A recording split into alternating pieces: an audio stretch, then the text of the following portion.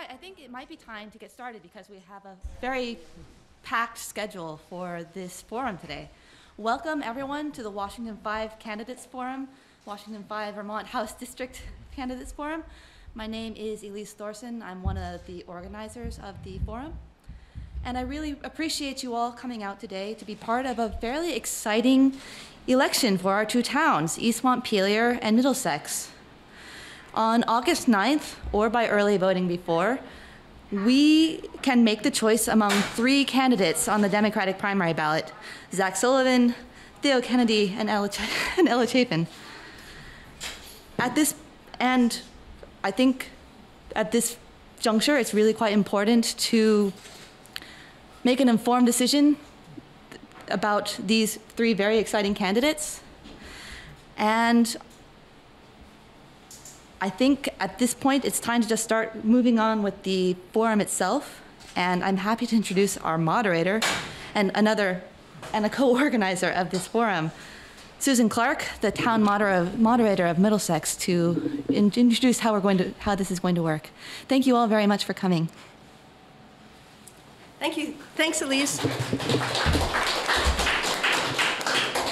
Thanks very much to Kellogg Hubbard Library for hosting us, and thanks to Orca Media for streaming this event. And Orca will also make the recording available online. So if you know somebody who missed this, tell them. And we also want to thank the League of Women Voters. The League uh, is a nonpartisan organization, and as such, is not a co-host of this event. But we're really grateful to have been able to tap their expertise on the event format. Um, a few quick notes on the process. We're going to start by having each candidate introduce themselves, and then we'll move on to topical questions. And each of the candidates will have up to two minutes to respond to each question, and we'll rotate who goes first. We have solicited questions um, from voters uh, via Front Porch Forum and uh, incorporated those into the questions we'll be asking um, tonight. And for those of you in the room, if you want to suggest a question to our to our pretty packed agenda, um, feel free to use those index cards that are in the back, um, and you can pop those up to me. Just pass them forward, um, uh, and um, we only have one hour, so I can't guarantee we will get to them all, uh, but we will at least try.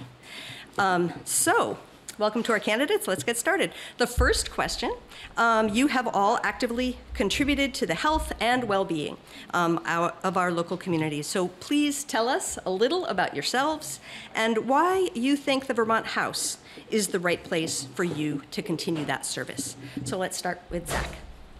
First of all, yeah, thank you, Susan. I'd like to thank you know, Susan and Elise for organizing and for the Kellogg Library for hosting and for Orca to getting this out to the folks who couldn't attend in person.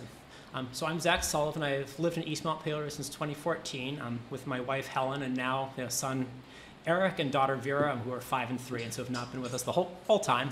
Um, I've been involved with the town since fairly early on in, in my tenure. First, you know, trying to decide what to, do piece, what to do with a piece of land the town had purchased, and now with the, as the chair of the planning commission. Um, I work in healthcare. I moved to Vermont actually to work on single payer and now work for the UVM Health Network.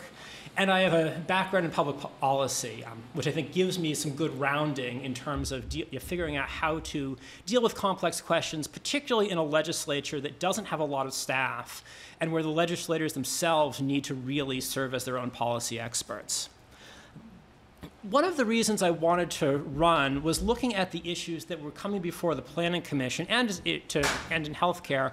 I was just running into, into blocks of what, you know, there was only so much we could do at the town level. You know, we've worked to make affordable housing more viable through our zoning. Um, there, you can, you can remove barriers, you can't actually create the housing. We're now working on our energy plan, and you can encourage people to buy electric vehicles, but if they can't afford it, you can't actually get them over that hump. And so that was one of the, you know, those are the sorts of issues that I think are much better dealt with at the state level. As I look at the types of policies I want to enact, I, you know, you know fairness in the work is really you know, really key. You know, you go out and talk to voters, and I've, ta- you know, talked to people who were just over a benefit cliff, where if they'd made a little less money, they would have been eligible for benefits, and now they're not. And so that's really hard. We talked, you know, we look at really significant racial discrepancies in healthcare, in housing, and a lot of other things. That those are the sorts of things that I think we need to really, you know, try to solve. Thank you. Well, thank you very much. I appreciate the Vermont League of Women Voters, even if you're not officially a sponsor. And, uh, and the East Democratic, uh, the East Montpelier Democratic Committee for hosting this, and the library. To all you folks here, the folks that are visiting via Zoom, and to the Orca group. Um, you know, in thinking why it's a good fit for Theo Kennedy in the House, there are kind of four large areas. One is uh, and we won't have time in two minutes for everything, so I'll just lay them out. But you know, experience in education, kind of vision to action, familiarity over 20 years in the legislative body, both on behalf of government and behalf of different private groups, and, and then also a real deep commitment to constituent service, compassion, compassion constituent service. And I'm going to try to weave those into some of my other answers, uh, but I also just want to introduce myself a little more fully. I'm um, married. My 25th anniversary is tomorrow. Uh, I have four children. Um, I went to school at Middlebury College and then got a, uh, a law degree at Boston University and a master's in public health and concentration in environmental health at Boston University. I came in January 99 to work for the state of Vermont in the Consumer Affairs and Public Information Division of the Department of Public Service, where I did my clerkship. And then I went over to what was then BISHCA, but we now think of as DFR, and I was Director of Health Rates and Forms there for about two and a half years. And then I moved over to the Department of Children and Families to be Director of Planning, Policy, and Regulation, which I did for about seven and a half years. Um, if, if there's anything that should ring, that rings true to me is my deep commitment to service and to other people and to helping others in need. I'm going to emphasize constituent service as I close out because I'll weave in some of the experience and education and familiarity later. Um, Right now, as a lawyer in private practice, a general civil practice, litigation practice, I spent a lot of time with Washington County low-income Assistance project folks who really just need an orientation to what's possible out there. Thank you. Ella? Hi, everyone. Um, I'm Ella Chapin. I live in East Montpelier with my spouse Simeon, who's here, and my 11 and 15 year old kids. Um, I grew up in Calais. I went to 32, um, as did my spouse Simeon, and we were living in different parts of the country and moved back in 2001 knowing that when we reconnected at 25 that we were going to settle down and have kids and where would we do that we would do that here um, so you know we are i am pretty much a lifelong vermonter save a few years out west. And um, and just am really dedicated to this town and this place. Um, i my early background and career i did my undergraduate work in environmental science and ecology and spent 10 years working in outdoor education and leadership education as an instructor with Outward Bound and running various environmental and education programs.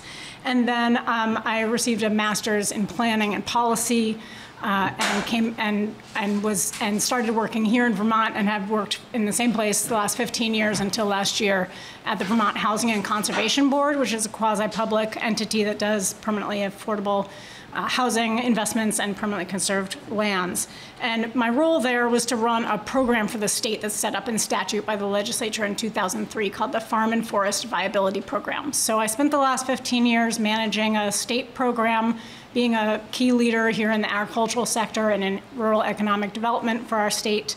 Um, and I worked on more than just that one program um, for the state. I ended up helping uh, with a number of programs that the legislature's created, the Working Lands Enterprise Board, where I sat on the board for eight years, the first eight years, uh, uh, and the um, Vermont Sustainable Jobs Fund's um, Farm to Plate initiative, a lot of different initiatives that came out of the legislature helping design and implement those. So I have a lot of experience reporting to the legislature and different um, committees about that work. Um, I'm an effective, hardworking leader. I'm known for getting things done. I'm known as a good listener and a really good problem solver. Um, and I tend to lead with integrity and empathy. Uh, and I'm running because I love Vermont. Um, I feel like I have a deep connection at the state level and really want to better connect what's happening locally uh, with policy work at the state level. And I'll um, stop there. Thank you. Thanks, Ella. Elise, I wonder if you want to grab a couple of chairs and just put them up here. As a few more people are trickling in, and we're not going to have enough chairs. Yay! That's a good problem. Yes. All right. Great. Um, so, folks who don't have a seat and would like one, we, we're going to have a couple of extra seats up here.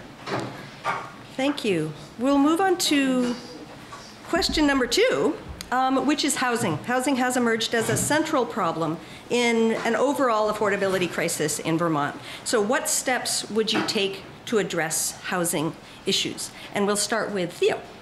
Okay, well, uh, all these questions were excellent, and each area is so important. Um, my, in my uh, professional life, I've been doing real property law, and whether it's on lender side or helping someone purchase a home, uh, in government, uh, dealing with homeless issues.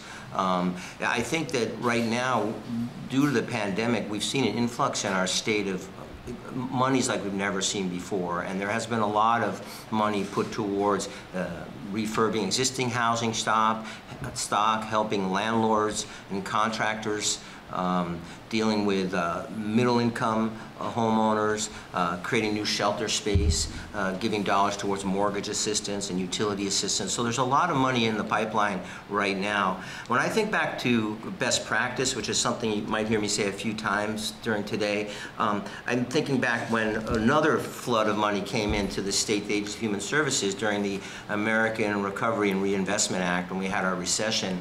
And uh, then Secretary or Acting Secretary Patrick Flood uh, said, Theo, let's come up with a program that really uh, harnesses the continuum of care of housing. Let's get bidders for these grants that can work together in ways that they haven't before, and let's put a scoring criteria that create that, that values those creative endeavors. Whether you're a, a brick and mortar contractor, you're transitional housing, supportive housing, uh, a landlord, a client, uh, across the spectrum of needs. And I'd really like to see some of the monies that have been allocated and not spent to have that kind of competitive grant-making process.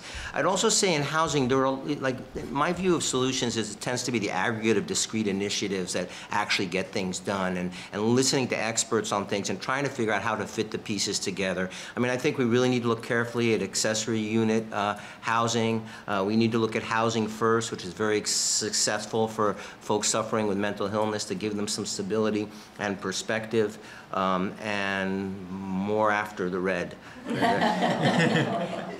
She's a taskmaster over here. Ella? Thanks. Um, well, I see housing as one of the most urgent, uh, one of the most urgent issues in this moment, and I'm certainly hearing that from folks as I go around and talk with constituents.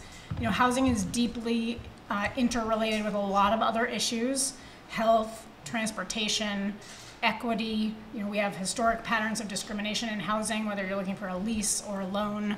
So it's um, and it's an essential need.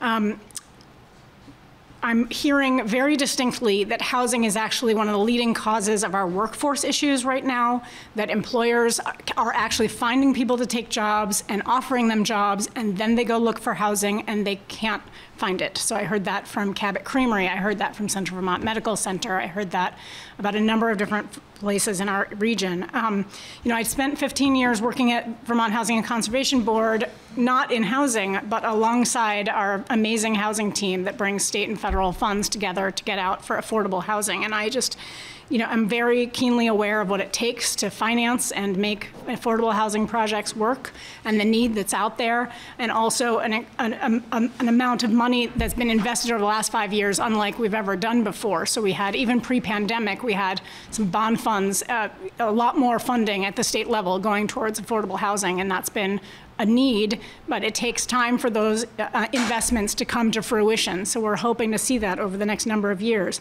Um, I strongly support state investments in affordable and workforce housing, and uh, we're going to need to keep that up.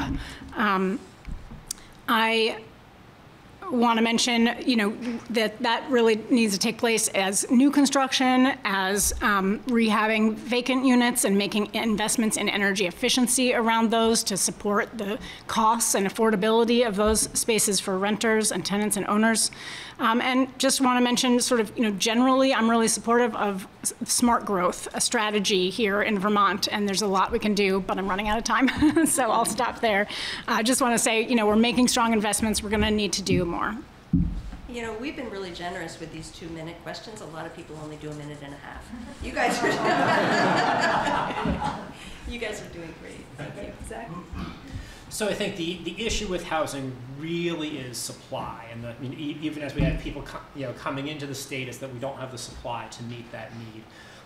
I think we need, as we look at how do we create you know more you know we, we need to look at encouraging denser housing in you know in village centers or in town centers um, this would do three things one it gets us you know lets, lets us build on smaller lots it lets us build smaller units it lets us build you know you know multifamily dwellings. I think this is probably what ella was starting to talk about you know a little bit there at the end. Um, it, you know, all of those things make the housing stock more affordable. And so when you start to talk about the people who have, who need hou- who need housing that is, you know, say affordable for a teacher, you know, but who doesn't actually fall into the technical definition of affordable housing, there's something there for them in addition to, you know, state investments in affordable housing. Um, this also prevents sprawl and it, you know, helps create vibrant communities that can support businesses in town that people can walk to so that we're a little less car dependent. Um, what do we need to do to get here? Um, a lot of our towns are really held back by infrastructure. In East Montpelier, we've looked at this, and the thing that always stops us is wastewater. Um, and so I think we need, we may need state investment in wastewater. We may also need some, you know, potentially use ins- incentives to really put that on the table to developers to say, oh, you could build a shared septic system that would allow you, know, you, know, you know, more development you know, with the septic system over here and the house, you know, you, know, you know, six or eight units over there. I think those are the sorts of creative solutions that could get us to the denser housing. Um, we may want to look at the zoning. Um, the, you know, the state you know, you know, put in requirements to make towns allow accessory dwelling units, and it actually made us encourage us to go forward. So we, you know, we may want to look at other ways of using, you know, preempting zoning. Um, I'm thinking particularly Massachusetts has rules where if a town doesn't have enough affordable housing, some of the zoning can be preempted to force that through. Thanks. Thank you. Okay, well, this next question is about healthcare. Of course, COVID has stressed our healthcare system from rural hospitals to drug prices to mental health. Another element of healthcare is senior care. Um, an East Montpelier resident wrote in that she has been a full-time caregiver since 2016 of, uh, for her husband with dementia. He can't be left at home, but a nursing home would cost $20,000 a month. She wrote, Vermont is aging and headed for a senior care crisis. Is this on your radar? So please tell us about your healthcare priorities. And we'll start with Ella. Thanks. Thanks. Um, well, first I want to say how grateful I am to all the different folks that have supported us through this pandemic as a community. And I was going to list them all, but it was so long, and I'm getting all these red signals over here, so I'm not going to do that. Um, and I also want to just say condolences to everyone who lost someone during the pandemic. Um, I'm going to start talking about myself in that I'm um, really data driven, and that that's been really important during the pandemic also. I'm trained as a scientist. I look for evidence based solutions wherever possible. Um, and I'm really, really concerned right now uh, about the state of our healthcare system, as I think a lot of us are. Um, I will definitely advocate for one that is accessible, affordable, and high quality. We know that there's a lot that needs to happen at the national level, and we only have control in what we're talking about today, you know, more at the state level. But there are a lot of things I think we can do at the state level. Um, I think we can work on universal primary care, which is a step towards, potentially a step towards single payer also. Um, we can work on integrating nutrition and mental health fully into primary care. Uh, I'd like to see, and, and I think a lot of us are thinking a lot about mental health care right now. We really need to expand access. Um, telehealth is a, a little golden nugget that came out of the pandemic that we want to hold on to and expand and make available. Um, you know, we need to support our community health centers and our regional, you know, our rural hospitals. Uh, really, I, I really have a laundry list. I think I might not go through the whole thing, um, but to get and so maybe to highlight some things that in particular affect our, our the, the senior part of our Vermont demographic, which is significant part of our state. You know, drug prices is an ongoing issue, right? And with times of inflation like this, like we've never seen in our lifetimes, and fixed, um, in, so many of our seniors on fixed incomes, and you know that's something I don't know how to attain it, but we've got to keep working on that. Um, and I also heard from a constituent who was talking about um, issues around caregivers' access um, to uh, seniors living in, in different facilities during the pandemic, and there's already legislation proposed for that. So that's another thing that I would be interested in working on. Thanks, Ella. Zach? So Yes, there is a lot to cover in healthcare. Um, the, the, the things I just want to focus on first, mental health. Um, we, we didn't have enough mental health capacity in the system, and we're not funding the outpatient system well enough before the pandemic. It's gotten significantly worse. Um, last summer, we had we were having adolescents, you know, in our emergency rooms for two, three, four weeks you know, in what, what advocates will describe as prison-like conditions, because that's how you keep them from killing themselves. Um, we need, we desperately need to invest in adolescent mental health care. Um, we have, we're seeing really sharp increases proposed for commercial insurance rates right now. And part of that is that we have seen really significant inflation, you know, you know, in, in healthcare costs over the past year. Part of that is that healthcare was just too expensive to begin with. Um, but part of that is also that Medicaid is not pulling its weight and that we have a system where there are sort of secret taxes on some people. Be, you know, people have commercial insurance that are picking up what we are not paying through actual taxes in Medicaid. Um, we have what's called a global commitment waiver from the federal government that gives us some flexibility in how we use our Medicaid money. We do have the ability to increase Medicaid funding, and I think we absolutely need to do that. And then we, particularly in the hospital sector, because we can then use the hospital budget process through the Green Mountain Care Board to make sure that we are actually buying the commercial rate down with that money and not having it just be a windfall. Um, and then final, finally, I think we need to look at how we transform rural care. You know, right now, surgery is the profit center. And so everyone is trying to do surgery because it brings in money we need to, tr- you know, and they're not, people aren't doing enough volume to be high quality. We need to try to pay providers in rural areas for the care that we really need and try to move this, you know, move some of the higher end care into centers of excellence, but also use our regulatory structure to make sure that the, the places that get those centers don't just, you know, aren't able to run off with all the money from the profitable services. Thanks, Theo. Um, so healthcare, I, I had someone work with me called it labyrinthine. It, it is so many different pieces to this. I, you know, I do think that having worked as a director of planning policy reg- regulation at DCF when we oversaw Medicaid eligibility and covered services, and also at, at the Department of Financial Regulation over rates that were submitted, I, I, I got a chance to look at the whole system, and I have a couple solutions in mind. I, I think in in, in, also in light of what Ella said, I'm sure Zach feels, it, what a sobering time to uh, go through that pandemic with the, the, the, death and illness that we experienced. And, and yet we had our own Dr. Fauci with Dr. Levine leading the way with you know, facts and science, helping us try to understand what we're understanding in real time, enough to make informed decisions. And I, and I think that's a really important part of policy generally. Um, you know, I have a couple specific solutions in mind. Um, one is I'd like to revisit the public option. Uh, I have a way of funding the public option uh, by le levelizing the way in which the self-insured book of business, where a lot of the good risk uh, rests, uh, gets assessed equal with the fully insured book. That would allow us basically to use Medicaid. We already are a single public Medicaid MCO. We're the only one in the country. To allow that aperture to broaden widely over time, but keep premium stable for that time. You know, I've represented also in pharmacy. I've represented pharmacy interests for many years, both in government when I led the Part D implementation, but also on behalf of independent pharmacies and pharmacists. And I think we should look at the, a kind of a liquor control board-like approach to uh, pharmaceuticals. Uh, put us in control of supply and distribution, which is a real issue during the pandemic, and, and, and take a lot of the middlemen where profit centers are out of the equation. Uh, we have about a 6.2 billion. The numbers are changing, but about 20% is attributable to to, pharmacy. I also, you know, I mean, there's such a list which happens to all of us around the opiate epidemic. I'm on the board Another Way, having peer supports as a way to help psychiatric survivors, dealing with suicide prevention, you know, really, really um, trying to make sure that we, uh, uh, and the last thing, oh, good goodness, I, I guess I'll come back to the topic of seniors, which Ginny so kindly brought up at the tail end, okay? Um, okay, this next question is about education, and we have um, a bunch of interest in this. Um, as you know, um, our towns of Middlesex and East Montpelier were part of a forced merger under Act 46.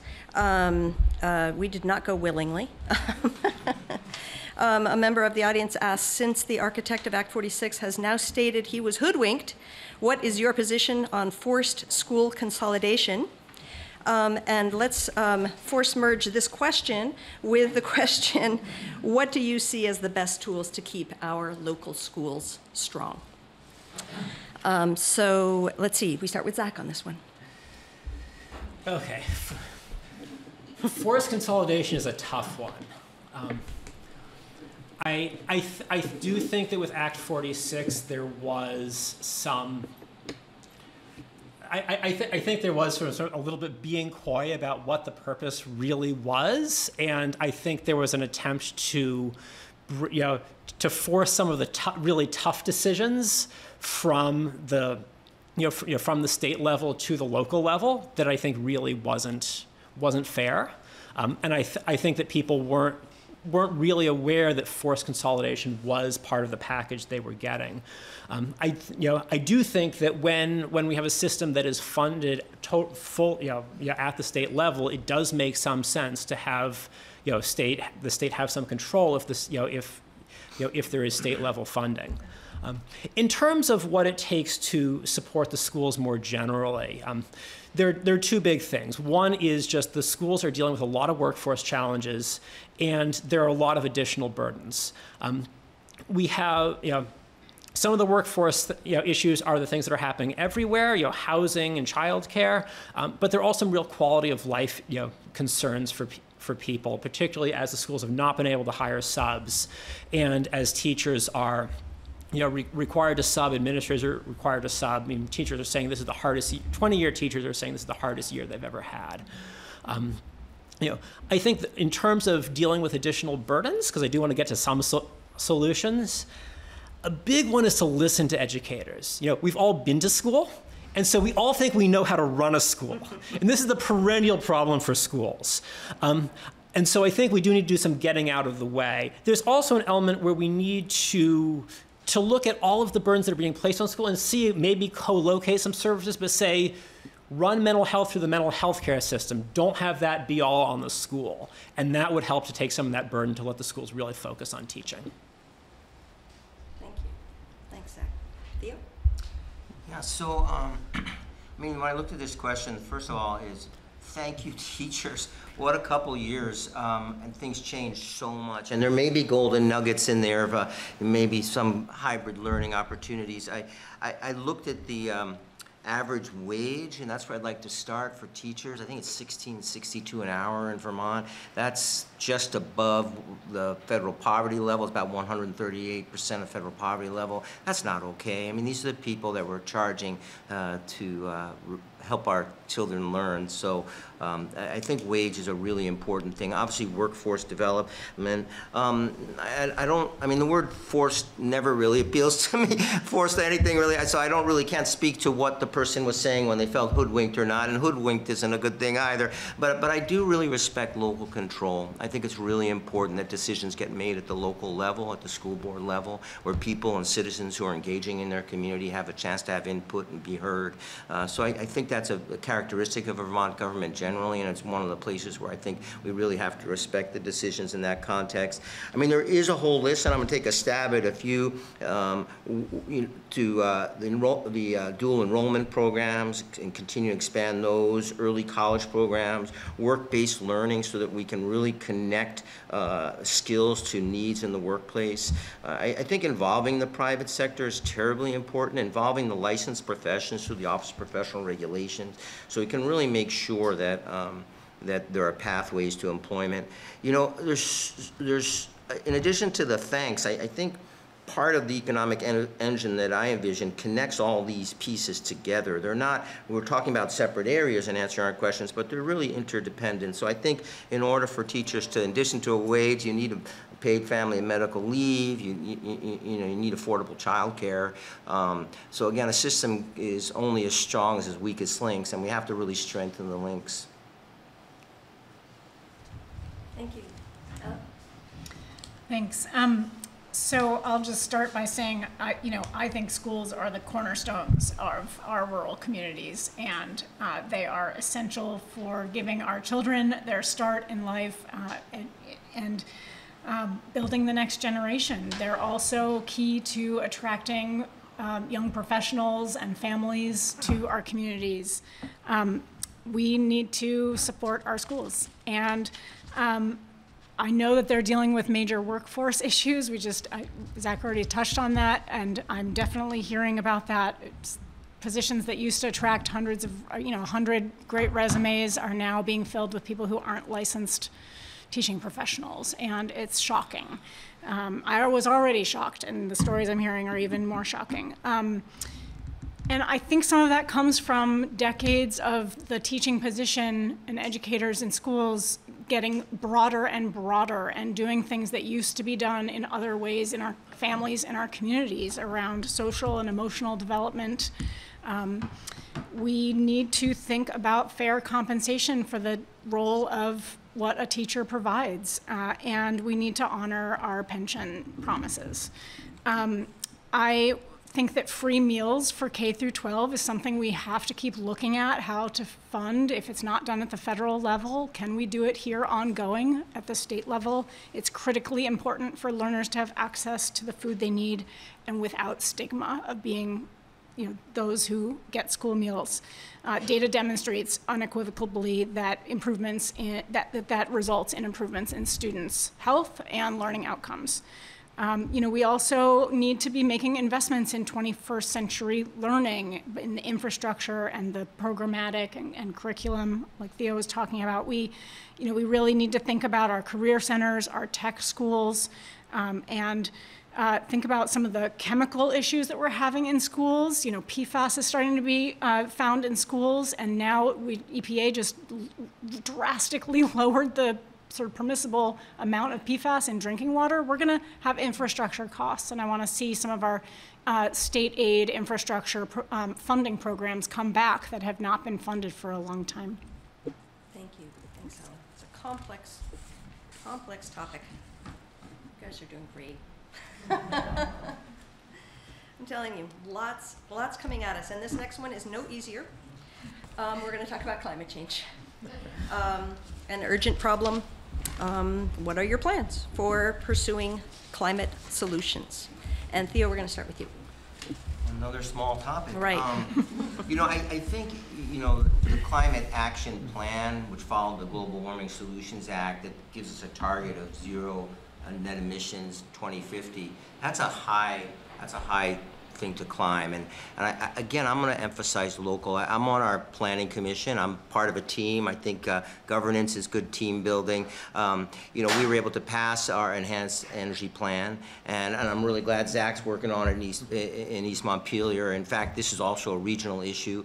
Uh, but I think it helps in, in, in that energy plan highlights different things, but it, it's consistent with the Global Warming Solutions Act around transportation, around energy efficiency, around renewable energy generation, around transportation infrastructure, around, so, so, the, so many of the themes are similar, but the important thing I think that through the Central Vermont Regional Planning Commission that it affords our towns and other towns in the region and throughout the state is an opportunity to join at the local level and kind of figure out what works in your community uh, to kind of listen, not kind of, listen to those who have a passion for it, those with expertise, those with interest, an inclusive process uh, that can real, really yield results that are actually going to be sustainable. So I mean, I, I think renewable generation is very important, but we already have a utility in WEC that is 100% renewable, so we don't want to leave stranded assets out there. So maybe we're looking at the Green Mountain Power portfolio, but we have to be able to think about um, moving uh, climate change forward.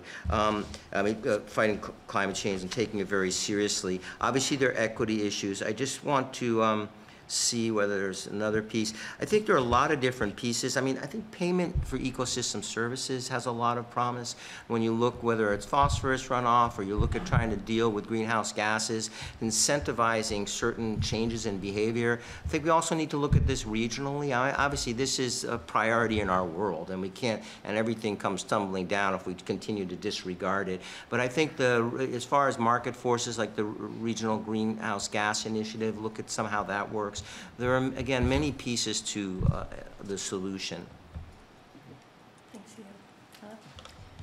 So my focus on this will be on implementing the climate action plan. we are required to meet our carbon emission reduction goals by law, and if we don't, um, it's going to become a different problem for the state. Um, the Climate Action Plan outlines numerous pathways to get there. They all need individual consideration and thinking about how to do them equitably in a way that they don't particularly Im- Im- impact certain groups of people in our state. Um, and the Climate Action Plan was put together through a diverse group of stakeholders and a public process, and there's a lot of information there to start working on. Implementing that plan will help us equitably transition away from fossil fuels, create a clean energy economy, and really transition. Uh, it will be extremely costly for Vermont not to do it. Uh, our legislative joint fiscal office just released a report recently that analyzed the climate action plan and found that it will save $6 billion over 30 years for Vermonters, primarily in avoided costs. We can't afford not to develop resilience and adapt to climate change. Uh, so I would be focused on advancing a clean heat standard, electric vehicle infrastructure, public transportation and weatherization at a greater scale, all of which will help create a new kind of economy for Vermont and our region. Um, you know, and as we move to electric heating and transportation, we're going to need to look at modernizing our grid system. Um, climate, our climate crisis is a global issue. We are not going to solve it in Vermont alone. Um, we need national solutions and funding. But Vermont has a moral obligation to do what we can, and we believe it will be advantageous for us economically to do so. Um, our state investments were really strong this past year in this regard. We're going to need to do more, seek out the federal funding, work with our federal delegation, and, and just keep working at it. Thanks. Zach? So the, th- the thing I would like to really focus on as we talk about how do we move forward you know, to, to meet our you know, climate targets is on electrification. You know, we have a lot of really great new technologies coming on, or you know, really coming, becoming mature now, that can you know, both are you know, fantastic environmentally, but also can save you know, people a lot of money. I think as Ella was mentioning. They also have some really high upfront costs, and I think we need to figure out how to deal with that and, and to help people deal with that. You take you take sort of a you know, sort of mid-level electric car, you know, you know for, forget the Teslas, but you know like a, a you know, like a you know, Hyundai or a VW. Um, you're you're looking at something where once you subtract out you know all the maintenance savings, the fuel savings you know, the, the tax credits, you're getting to something that suddenly a lot more people could afford if that was their upfront costs. But of course, it's, you know, it's not. You have to have, you know, you have to pay for all of that on day one. And so I'd like to uh, see us explore how we can help people to solve that problem. Um, I think we also, you know, as we're doing that, we also need to look at some of the infrastructure you know, problems. There are certain things are regional. You know, the state is going to need to work with the rest of New England on some of the larger scale transmission pieces. But there's also there's also local stuff. You know, who pays for things like upgrading transformers? That can get to be very piecemeal in terms of who gets stuck with the bill.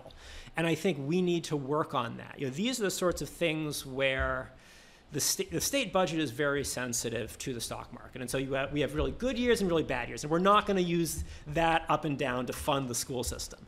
But it does give us opportunities to look at where can we use some one-time money to invest in things like infrastructure that will give us, you know, if, if we use you know, infrastructure money for the grid, will give us really long-term benefits in terms of electrification.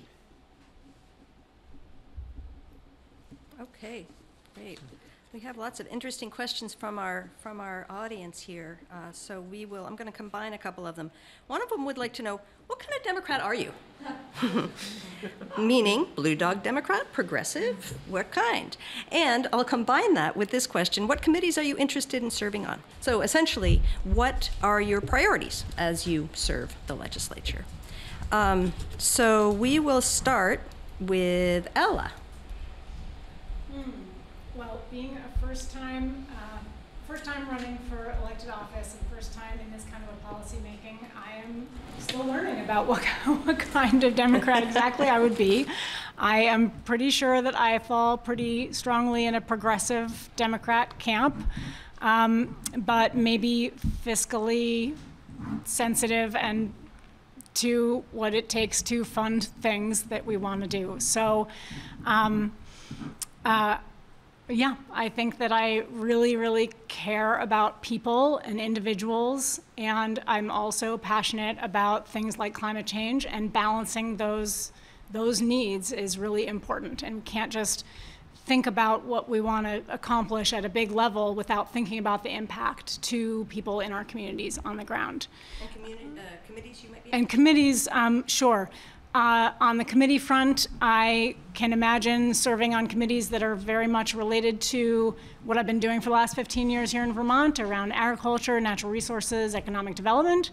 Um, or I could imagine doing something really different. Um, I care a lot about our judicial system. Um, I I am really not sure yet, but I will be taking more time to explore that. And you know, we get to choose several committees that we're interested in, and then get assigned. So um, yeah, I think that I have a variety of committees where I'd feel very comfortable and um, be excited to work. Zach? the what kind of Democrat am I? I think that sort of in and this you know this is you know in a similar vein to Elle, I think I share a lot of values with progressives. I see progressives sort of giving people a lot to believe in, um, and I think. Um, one, of my early political heroes was Harvey Milk. Um, I don't know if any, any of you have read The Mayor of Castro Street, which goes much more into him as a politician than the movie does. Um, but he talks about the need to give people hope.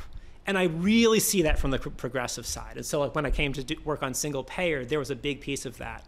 Um, I think we saw place cases where single payer didn't work, wasn't going to work practically, and sort of in over time, you could really see the staff of the Green Mountain Care Board shift from having a lot of people who were very gung ho about single payer specifically to really trying to figure out what other ways could we use to make every, get everyone covered. Um, the other really formative experience I had on the Green Mountain Care Board, I was there when Vermont Health Connect launched and sort of crashed and then had to be rebuilt. And it wasn't in the context of the policy issues around single payer, Vermont Health Connect was a pretty small deal. But in terms of people's trust in government, it was absolutely enormous. You know, how are we ever going to tell people we're going to take over the entire healthcare system when we can't launch a website? That went through a lot of people's minds. And so I have this very strong feeling of if you are a person who believes in using government to do big things, government has to work. You know, and I think that that informs a lot of how I approach policy and how I approach programs to try to make sure is this going to work. Um, in terms of committees, I could easily see leadership putting me on healthcare. I would also be interested in human services. Um, looking out long term, because they never put a first term you know, member on, on, it, possibly appropriations, because I think a lot of these things have to, you know, where the money goes is really important to how your, pol- your priorities are met. Thank you. Theo? Well, I, I think it's a great question. I mean, I, I'm, I think I'm an inclusive Democrat. I, I think I'm a Democrat. Democrat. I, I mean, I, I grew up. Uh, I don't want to date myself here, but I remember my father bringing me to protest the Vietnam War. I, you know, we saw big things like the Civil Rights Act and the Clean Air Act and the Clean Water Act, and many of the things that seem to underpin uh, Title IX, that underpin our progressive values today, have been in my life my whole life. And, and what I really want us to do, if you look at the platforms between the progressive and the Democrat, and I'm vice chair of the Washington County Democrats, by the way, it's my second go round at that. Um, eh, you know, you look at the platform differences, and I think it's only around PAC funding that there's a difference. So I think, you know, I want to bring people together, and it actually matters to me less, as much as I'm a Democrat, um, exactly what your party affiliation is, but how much uh, interest and passion and, and smarts you bring to solving problems in sustainable ways. As far as, far as um, as far as committees, I'm very respectful of process, so, and I believe in process, so there's a leadership, and, you know, I certainly have an interest in natural resources and energy and in healthcare, but frankly, I'm, as a lawyer, a general practice lawyer, I'm kind of interested in all things. Uh, lifelong learning is, I think, a reality that we all live with, and so my, my goal will be to serve leadership where they think it would be useful. Uh, having said that, I think I have a lot to offer in healthcare, and because of my environmental health background in, in natural resources and energy, so, um, yeah, I think that would be how I'd answer that. All right, great. Thank you. This was, that was a question they weren't prepared to answer, and they did pretty well. All right, this next question is about Prop 5, reproductive rights. What is your stand? What do you have to say about it? Uh, Zach, we start with you. Okay, so I, I support Prop 5. I plan to vote for it. I fully expect it to pass. Um, I, and I, I, I sincerely hope that the issue is moot by the time any of us take office. The more interesting question for me is what comes after? You know, we're in an environment now where red states are trying to reach beyond their borders to enforce their laws. And we're looking at situations where we you know, we may be providing a lot of abortion care to out, out of staters. Um, we don't know how much that will be yet. You know, to get to Vermont from most residents, you have to either drive through New York or con- by air connect through Chicago and, or New York or you know, DC. And I don't know if we will have a ton of people because of that, but I think we should be prepared for it. Um, this, this is an area where a lot of other states are looking at a lot of interesting things. You know, Connecticut in particular has done some very interesting work where they've basically taken the Texas law, where, which puts a bounty on anyone having an abortion, and you know, reversed it. So if you if you go to, to Connecticut to have an abortion and someone in Texas sues you, you can countersue them in a Connecticut court. You can you can take back the ten thousand dollars. You can take back the attorney's fees. You can take back all your attorney's fees, both in Texas and in Connecticut. Um, you know, I, one, one you know, voter asked me, isn't that kind of a lot of money for the lawyers? Um, but it's but, but the purpose of the Texas law was never to raise money; it was to prevent abortions from happening. And so the Connecticut law would keep people from enforcing it because of what they would face in Connecticut. You know, that's something that we can do. Connecticut is also looking at you know what happens if people try to in, to enforce criminal laws here. You know, and so saying you can't, the state can't enforce subpoenas related to this. They can't extradite people you know, for this. You know, we really protect both the people coming for care, but also to protect our providers. You know, the one the one potential risk point would be if Missouri, for example, were to start trying to prosecute Vermont doctors, and so I think we would try to should try to copy some of those elements that are being considered. Theo? Well, um, yeah, I promised my wife I wouldn't cry today, but I, I got to tell you, I was.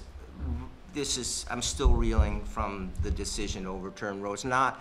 i i it's not. Well, that's the first thing. It's, it's, it's something we really have to think about uh, at a fundamental way. Obviously, um, our personal autonomy, our most private decisions, who we love, who we choose to marry, whether we use contraception, whether we carry a baby to term, uh, whether we marry cross gender or cross race. These are immensely private decisions. And the Blackmun decision for me was formative as a law student. I thought this was the platform through which a whole part of our civil rights could be strengthened. Uh, and, and this is really going back in time in a very, very serious way. I'm, I'm president-elect of the Vermont Public Health Association. I was just at a meeting in D.C. where this figured largely in our conversations. How do we as red states, blue states rather, help red states who are up against funding streams that are blocking the ability to provide health care? It's just unacceptable. Um, yeah, so um, I, I can't think of a more serious problem to, to, to try to rectify. I'm so proud of Vermont. Again, we're leading the way. We had the forethought to pass this privacy provision in two consecutive biennia, uh, which was the requirement in order to get a constitutional amendment. And I think it's going to pass in this state. And again, the brave little state, right, is going to help lead the way. That's not the solution, though, for so many women and other folks who can bear children or for all these other issues. So I think it's something that we're going to stay vigilant on. And if I'm in the State House, we're going to speak loud and clear uh, um, uh, to try to figure out ways without getting into the weeds and some of the things you were talking about particularly, I think we need to work with our Attorney General's office. Um, we need to work with our leadership to figure out how can Vermont provide a safe haven? How can Vermont uh, look at its criminal laws with regards to uh, mail order um, contraception? And there's the red card. Thank you. Ella? So I've been an advocate all my life for women's rights and reproductive liberty. Um, I, we need to keep fighting at the national level. There is no question. Um, I agree about sort of looking what we can do here, but this is a national fight we've got to keep on. Reproductive rights are basic human rights.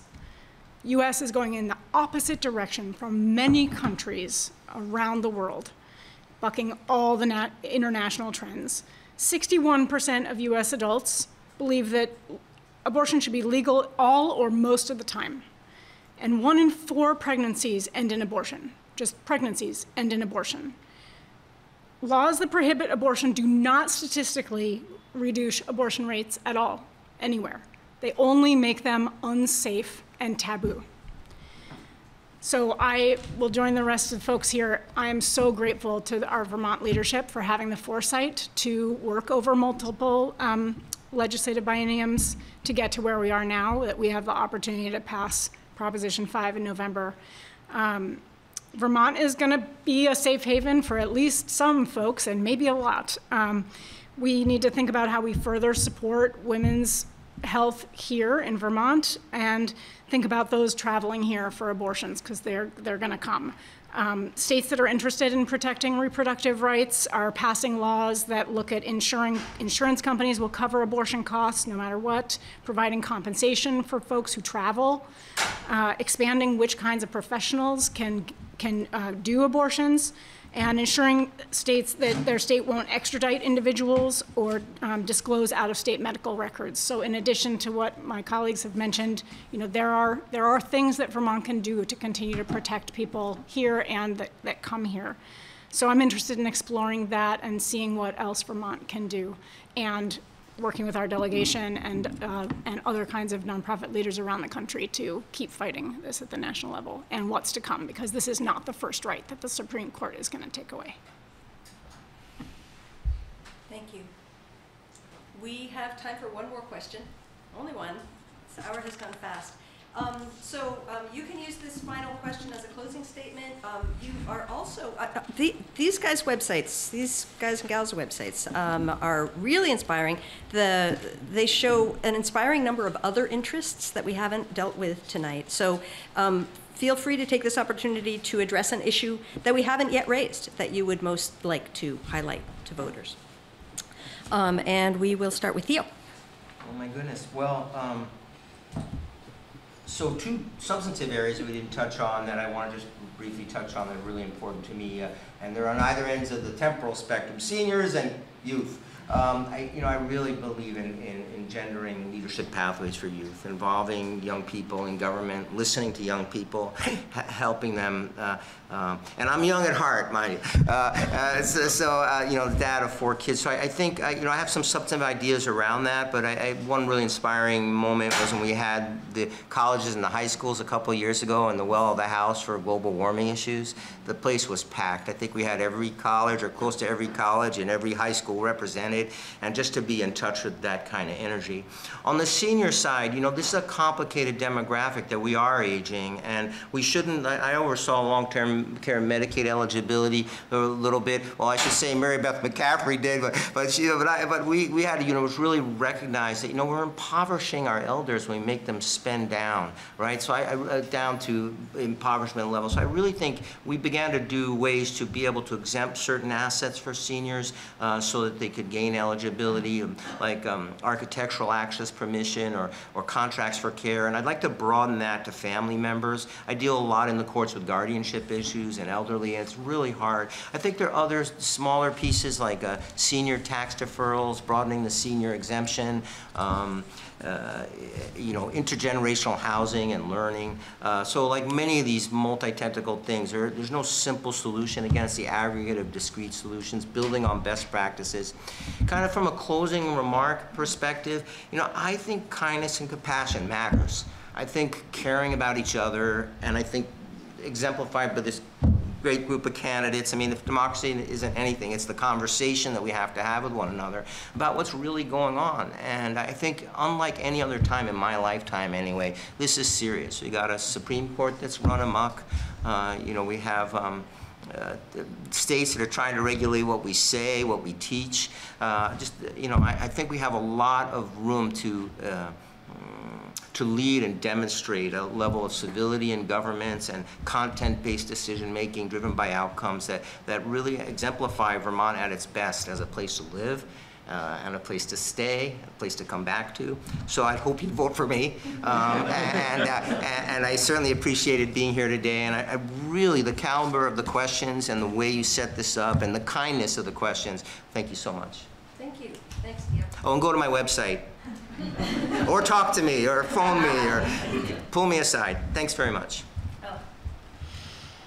Right, well, the topic, we, there's a couple of topics that I'm gonna really briefly touch on. Childcare. I think childcare is the other, one of the other most pressing issues of this moment.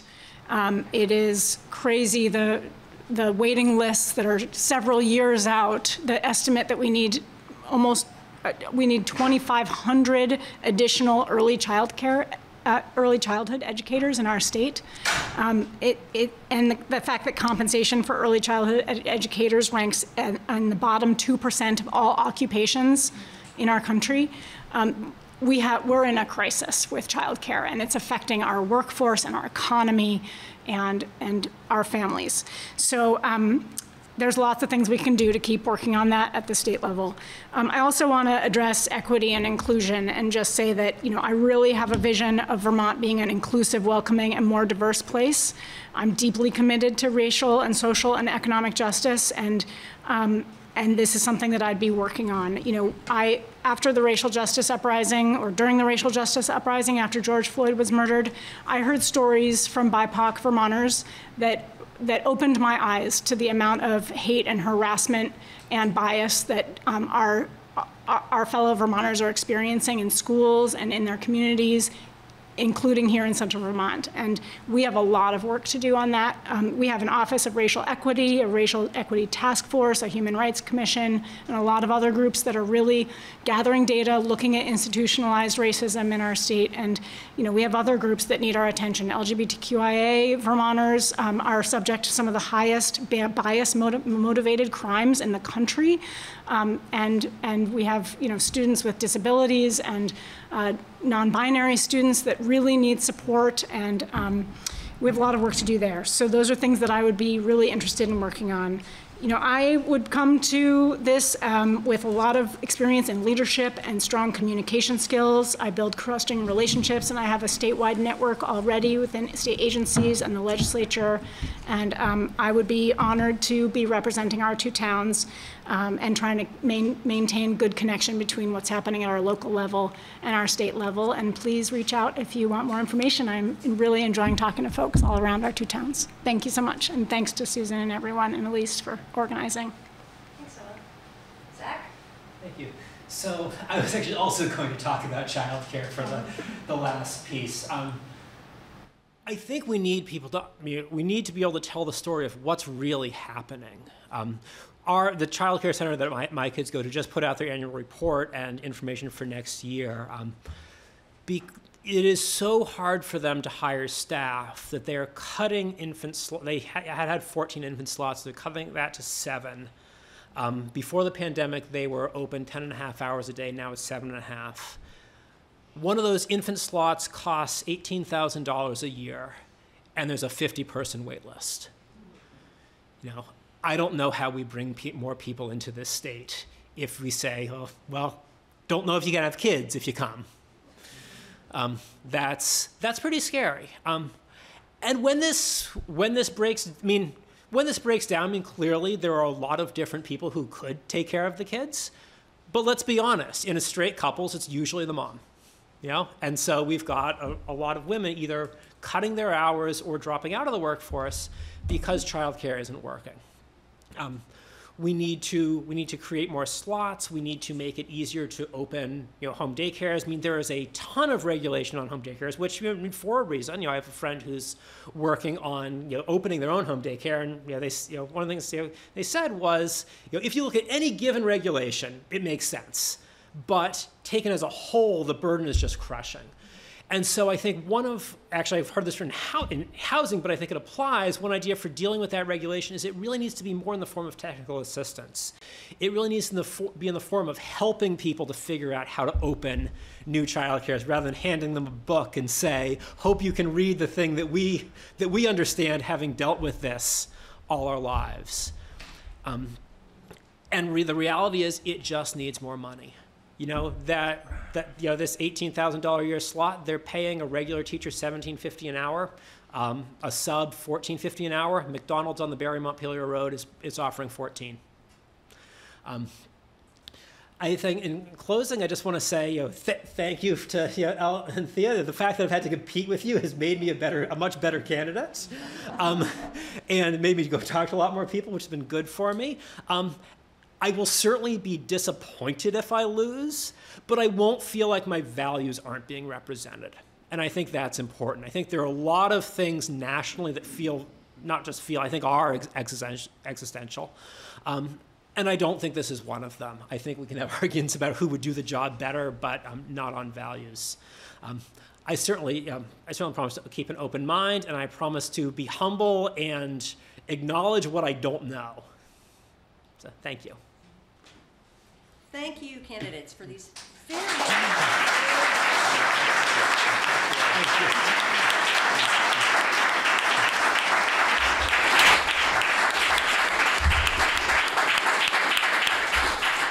Thank you. Our candidates are serving our communities just by running for office.